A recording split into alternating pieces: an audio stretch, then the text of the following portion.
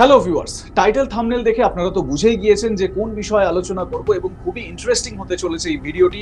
সে কথা আমি বলতেই পারি, কারণ আমি যখন এই বিষয় নিয়ে আলোচনা করছি বা আপনাদের সামনে ভিডিও বানাচ্ছি, আমারও বেশ মজা লাগছে। তো আপনারাও বেশ মজা পাবেন, আশা করি। দেখুন, চন্দ্রযান থ্রি একেবারে সফল হয়েছে। ল্যান্ডার বিক্রম থেকে বেরিয়ে এসেছে রোভার প্রজ্ঞান এবং সেই ঐতিহাসিক মুহূর্তের সাক্ষী ছিল গোটা দেশ। শুধু দেশ কেন, সারা বিশ্ব ভারতের জয় জয়কার করছে। বিভিন্ন দেশের বিভিন্ন স্পেস এজেন্সিগুলো, যেরকম নাসা রয়েছে, ইউরোপিয়ান স্পেস এজেন্সি রয়েছে, তারা ইসরোকে একেবারে জয় জয়কার করছে। তো হবে নাই বা কেন? কারণ এটা রেকর্ড সৃষ্টিকারী। চাঁদের সাউথ পোলে, দক্ষিণ মেরুতে এই প্রথমবার কোনো দেশ গিয়ে পৌঁছলো এবং সাকসেসফুলি এই মিশনকে লঞ্চ করা সম্ভব হয়েছে। এই মিশন কিন্তু সাকসেসফুল হয়েছে। তো চাঁদে গিয়ে রোভারের যে কাজ মানে প্রাজ্ঞানের যে কাজ, সেটা হচ্ছে মূলত জলের খোঁজ করা। এছাড়াও খুব গুরুত্বপূর্ণ উপাদান হিলিয়াম থ্রি এবং স্ক্যান্ডিয়াম এই সমস্ত উপাদানগুলোর খোঁজ করা। তো এটা গেল একটা দিক, যেটা নিয়ে বিভিন্ন রকম ভিডিওস আপনারা দেখতে পারবেন আজ তাক বাংলার ইউটিউব চ্যানেলে আপনারা ইউটিউব চ্যানেলে যান মানে আজ তাক বাংলার ইউটিউব চ্যানেলে যান এবং সেখানে গিয়ে এই ধরনের নানান ভিডিও নানান ইন্টারেস্টিং ট্রিভিয়া আপনারা পাবেন, নানান খবরাখবর পাবেন, আপনারা সেগুলো দেখতে পারেন। তো এটা গেল একটা দিক। আমি এই সংক্রান্ত আরও তথ্য আপনাদের সামনে তুলে ধরবো, তবে যে বিষয়টা নিয়ে এখন কথা বলব সেটা হচ্ছে যে ইসরো শ্রীহরিকোটা থেকেই কেন বেশিরভাগ রকেট উৎক্ষেপণ করে? মানে আপনারা দেখেছেন যে এর আগেও মানে চন্দ্রযান থ্রি তো শ্রীহরিকোটা থেকে উৎক্ষেপণ হয়েইছে, কিন্তু এর আগেও বহু এরকম উৎক্ষেপণ হয়েছে বা লঞ্চ হয়েছে যেগুলো শ্রীহরিকোটা থেকেই হয়েছে। অন্ধ্রপ্রদেশের শ্রীহরিকোটা থেকেই কেন এই লঞ্চটা করা হয় সেটা খুব ইম্পর্টেন্ট সেই বিষয়টা নিয়ে আজকে আমরা আলোচনা করব। দেখুন, আপনাদের যদি কোনো আইডিয়া থাকে তাহলে অবশ্যই আমাকে শেয়ার করতে পারেন। আপনাদের যদি কোনো মতামত থাকে এই সংক্রান্ত, তাহলে অবশ্যই আমাকে কমেন্ট করে জানাতে পারেন। আর এই পুরো ভিডিওটি একেবারে স্কিপ না করে দেখে যান। শেষ পর্যন্ত নানান রকম মজাদার আপনারা ইন- আপনার ইন্টারেস্টিং ফ্যাক্ট আপনারা পাবেন, এটা আমি বলতেই পারি। তো কেন শ্রীহরি কোটা থেকেই উৎক্ষেপণ করা হয়? এই বিষয়ে যখনই আলোচনা করছি, সবার প্রথমে যেটা আসে, সেটা হচ্ছে পৃথিবী মুভ করে কোন দিকে? পৃথিবী মুভ করে পূর্ব দিকে। এটা খুব ভাইটাল এই রকেট উৎক্ষেপণের জন্য। যখন পৃথিবী একেবারে ইস্ট সাইডে মুভ করছে, তার মানে যদি পূর্ব প্রান্ত থেকেই মানে কোনো একটি জায়গার পূর্ব প্রান্ত থেকেই যদি রকেট লঞ্চ করা যায়, তাহলে এর একটা বাড়তি অ্যাডভান্টেজ পাওয়া যায়। আর অন্ধ্রপ্রদেশের শ্রীহরিকোটা কিন্তু একেবারে ওই ইস্ট কোস্টের যে জায়গা মানে একেবারে পূর্ব প্রান্তের একটি জায়গা তো সেই পূর্ব প্রান্ত থেকে যখন রকেটটা লঞ্চ হলো সেটা অনেক বেশি ইজি হয়ে গেল এবং যেহেতু পৃথিবী ইস্ট সাইডে মুভ করছে রকেটটাও সেই দিকে যদি মুভ করে বা সেই রকম ভাবে যদি ওঠে তাহলে প্রাথমিক যে বুস্ট পাওয়া সেই বুস্টটা পেয়ে গেল রকেটটি। তার মানে এটা একটা গুরুত্বপূর্ণ দিক। তো সুতরাং এটা একটা ভাইটাল পয়েন্ট হয়ে গেল যে পূর্ব দিকে কেন আহ, এরকম ভাবে উৎক্ষেপণ করা হয়।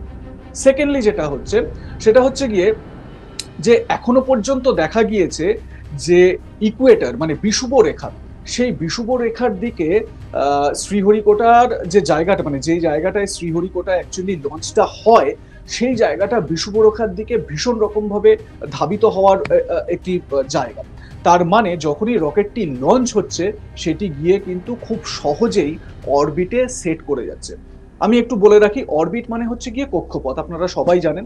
এবং কক্ষপথে কি হয় এক্ষেত্রেও আপনারা দেখেছেন, চন্দ্রযান থ্রি এর ক্ষেত্রেও আপনারা দেখেছেন যে যখন চন্দ্রযান থ্রি লঞ্চ করল, সেই সময় কি দেখা গেল? প্রথমে রকেটটি উৎক্ষেপণ হলো মানে লঞ্চ হলো, মহাকাশে গেল, তারপর গিয়েই যে সোজা চাঁদে চলে গেল এরকম কিন্তু নয়। সোজা যাওয়ার পরে পৃথিবীর যে অরবিট রয়েছে, সেই অরবিটে আগে ফিট করতে হয়। মানে ওই যে চন্দ্রযান থ্রি কে আগে পৃথিবীর যে অরবিট রয়েছে, সেই অরবিটে নিজেকে মানিয়ে নিতে হয়েছে। এবারে খুব স্বাভাবিক একটা প্রক্রিয়া, সেটা হচ্ছে গিয়ে কোনো একটি জায়গায়, আমি যদি কোনো একটা নতুন অফিসের কথাও বলি, কোনো একটা নতুন অফিসে যদি আপনারা যান মানে নতুন কেউ কাজে ঢোকেন, তাহলে সেখানে গিয়ে কিন্তু সেই পরিবেশটার সঙ্গে আপনাকে মানিয়ে নিতে হয়। তো সেখানে কীরকম অ্যাটমসফিয়ার রয়েছে, সেই জায়গাগুলো সম্পর্কে একটু জানতে হয়, সেই বিষয়ে একটু খোঁজ খবর করতে হয়। তো এটা খুব একটা ইন্টারেস্টিং ফ্যাক্ট তো সেই রকমই অরবিটারে গিয়ে বা অরবিটে গিয়ে সেই মানে চন্দ্রযানটিকে মানিয়ে নিতে হয়েছিল বা রকেট থেকে যে যানটিকে পাঠানো হয় মানে যেটি রকেট থেকে আলাদা হয়ে যায়, আলাদা হয়ে তারপরে স্পেসে যায় বা মহাকাশে যায়, তারপর সেখান থেকে যে মিশনে পাঠানো হয় সেই মিশনে যায়। তো সেটা অরবিটে গিয়ে কক্ষপথে প্রথমে কয়েকটা দিন সেখানে চক্কর কাটতে থাকে। তাহলে কি? ওখানে কিন্তু হ্যাবিচুয়েটেড হতে থাকল। মানে সে এখানে, সে ওই জায়গাটায় একেবারে নিজেকে ঘুলিয়ে মিলিয়ে দিচ্ছে মানে মহাকাশ তার কাছে আর অপরিচিত বা অচেনা থাকল না। এটা গেল সেকেন্ড পয়েন্ট তারপরের যে পয়েন্টটা হচ্ছে যে, এইটা যাওয়ার পরে যেহেতু দুটো জিনিস খুব গুরুত্বপূর্ণ হয়ে গেল একটা হচ্ছে পূর্ব দিক আর একটা হচ্ছে গিয়ে এই যে বিষুব রেখা এই যে বিষয়টা, এই দুটো যে মেলবন্ধন, সেই মেলবন্ধনে কিন্তু একটা বড় বুস্ট আপ পেয়ে গেল সেই চন্দ্রযানটি বা সেই মিশন যানটি মানে যেটিকে পাঠানো হচ্ছে। এবারে আসি মানে এটা তো গেল ইসরোর কথা। এবারে যদি আমরা নাসার কথা বলি মানে পৃথিবীর অন্যান্য যে স্পেস এজেন্সিগুলো রয়েছে, যার মধ্যে অন্যতম হচ্ছে গিয়ে নাসা। বলা ভালো যে বিশ্বের সবথেকে সেরা স্পেস এজেন্সি হচ্ছে আমেরিকার নাসা। আর নাসা কোথায় অবস্থিত? মানে নাসার হেডকোয়ার্টার কোথায়? ওয়াশিংটন ডিসিতে ওয়াশিংটন ডিসি হচ্ছে অ্যাটলান্টিকের যে ইস্ট কোস্ট রয়েছে, সেই ইস্ট কোস্টের একেবারে মানে বুঝতেই পারছেন যে পূর্ব প্রান্তে অবস্থিত। তো এই পূর্ব প্রান্তে অবস্থিত শুধুমাত্র যে ইসরোর রকেট লঞ্চ এই পূর্ব প্রান্ত থেকে হয় সেরকম নয়। অন্যান্য যে স্পেস এজেন্সিগুলো রয়েছে, সেই স্পেস এজেন্সি এজেন্সিগুলোও কিন্তু এই একই ফর্মুলাতে কাজ করছে। তারাও এইটাই দেখছে যে কীভাবে ইস্ট সাইডে মুভ করলে কীভাবে একটা প্রাইমারি একটা বুস্ট আপ দেওয়া যায় রকেটটিকে তারপরে হচ্ছে গিয়ে যদি এই যে ইকুয়েটার বা বিষুব রেখার কথা বললাম, যে ইকুয়েটার যেটা করে সেটা হচ্ছে গিয়ে অরবিটে গিয়ে ফিট করতে সাহায্য করে। তো এটা একটা পার্ট চলে গেল, কারণ নাসাও সেই বিষয়টাই কিন্তু লক্ষ্য রাখে। এটা খুব গুরুত্বপূর্ণ একটা দিক। মানে এটা বোঝা গেল যে শুধুমাত্র ইসরো নয়, অন্যান্য যে স্পেস এজেন্সিগুলো তারাও এই ফর্মুলাই ফলো করে। এইবারে আপনাদের মনে হয়তো প্রশ্ন আসতে পারে যে কেন এরকম হয় যে সমুদ্রের ধারেই কেন এটা করা হচ্ছে? তাই না? কারণ ইসরো যদি মানে শ্রীহরিকোটা যদি দেখেন, তাহলে হচ্ছে গিয়ে বে অফ বেঙ্গলের একেবারে গা ঘেঁষা। আর যদি আমরা নাসার অফিস দেখি, তাহলে সেটাও একেবারে অ্যাটলান্টিকের ইস্ট কোস্ট একেবারে ঘেঁষা। তো এই যে সমুদ্র ঘেঁষা কেন? বা মানে সমুদ্রের কাছাকাছি কেন থাকে? এইটা নিয়ে খুব বড় একটা প্রশ্ন উঠতে পারে। তার অন্যতম এবং প্রধান যে রিজন সেটা হচ্ছে যদি সেই মিশনটা সাকসেসফুল না হয় মানে আমি বলছি এটা যে রকেট লঞ্চটা যদি সাকসেসফুল না হয় মানে রকেট লঞ্চ করল, কিছু দূর গিয়ে রকেটটা ডিস্ট্রয় হয়ে গেল। কারণ এর আগে আমরা দেখেছি প্রচুর এরকম মিশন রয়েছে যে মিশন সাকসেসফুল হয়নি। ভারতেরই অনেক মিশন রয়েছে মার্স মিশন রয়েছে, যেটা প্রাথমিকভাবে রকেট উড়লো কিন্তু তারপরে ধ্বংস হয়ে পড়ে গেল। তাই না? এর আগের মানে চন্দ্রযান টু এর কথা যদি আমরা বলি, সেই চন্দ্রযান টুও একেবারে যখন চাঁদে নামবে নামবে এইরকম একটা সিচুয়েশনে পৌঁছে গিয়েছিল, সেই সময় গিয়ে একেবারে এই ল্যান্ডারের সঙ্গে যোগাযোগ বিচ্ছিন্ন হয়ে গিয়েছিল। তো এই বিষয়গুলো হচ্ছে গিয়ে খুব গুরুত্বপূর্ণ। যদি কোনো কারণে রকেট লঞ্চ করার পরে দেখা যায় যে রকেটটি যেতে পারল না সাকসেসফুলি লঞ্চটা হলো না, তাহলে তো ভেঙে পড়বে। ভেঙে পড়বে কোথায়? ভেঙে পড়বে সমুদ্রে। তাতে করে কি হবে? তাতে করে এটা হবে যে কোনো রকমভাবে মানুষের কোনো ক্ষয়ক্ষতি হবে না বা জনবসতিপূর্ণ কোনো জায়গায় যদি পড়ে, তাহলে সেক্ষেত্রে যা ধ্বংস হতে পারে, যা ব্লাস্ট হতে পারে, যা সমস্যা হতে পারে, হতাহত হতে পারে, অনেক সম্পত্তির ক্ষতি হতে পারে, সেইটাকে হবে না। তো সেই বিষয়টিকে মাথায় রেখেই সাধারণত এই সমুদ্রের ধারেই এই লঞ্চগুলো করা হয়, যাতে করে সেটা ধ্বংস হলে সমুদ্রে পড়ে যায়। তো এটা খুব গুরুত্বপূর্ণ কতগুলো দিক আপনাদের সামনে তুলে ধরলাম।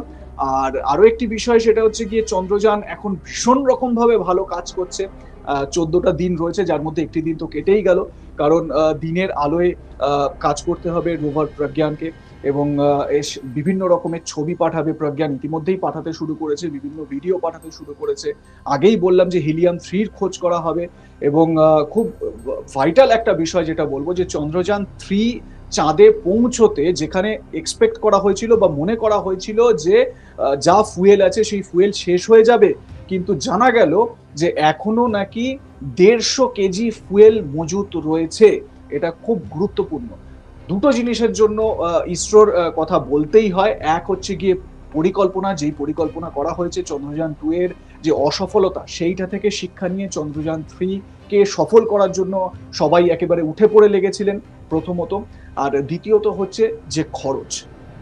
খরচের কথা যদি বলি, তাহলে এই ছশো কোটি টাকা বা ছশো দশ কোটি টাকায় একটা এরকম মিশনকে সফল করা হলো, এর জন্য প্রাউড ফিল করতেই হয়। মানে এখন তো হলিউড না, বলিউডেও এরকম অনেক সিনেমা হয় বা সাউথের ফিল্ম ইন্ডাস্ট্রিতেও এরকম অনেক সিনেমা হয় যেগুলো সাতশো কোটি, আটশো কোটি, হাজার কোটি টাকার বাজেট তো তার থেকেও কম খরচে ইসরো এই সফল চন্দ্রযান মিশনকে সফল করতে পারল। তার জন্য আমাদের বিজ্ঞানীদের গুড আপনাদের এই ভিডিওটি ভালো লেগে থাকলে অবশ্যই আপনারা দেখতে থাকুন আজ তাক বাংলা এবং শেয়ার করবেন কমেন্ট করবেন, আপনাদের মতামত জানাবেন, আপনাদের মতামত অবশ্যই ওয়েলকাম আপনাদের সুচিন্তিত মতামত অবশ্যই আমি দেখার চেষ্টা করব, জানার চেষ্টা করব। সঙ্গে থাকুন।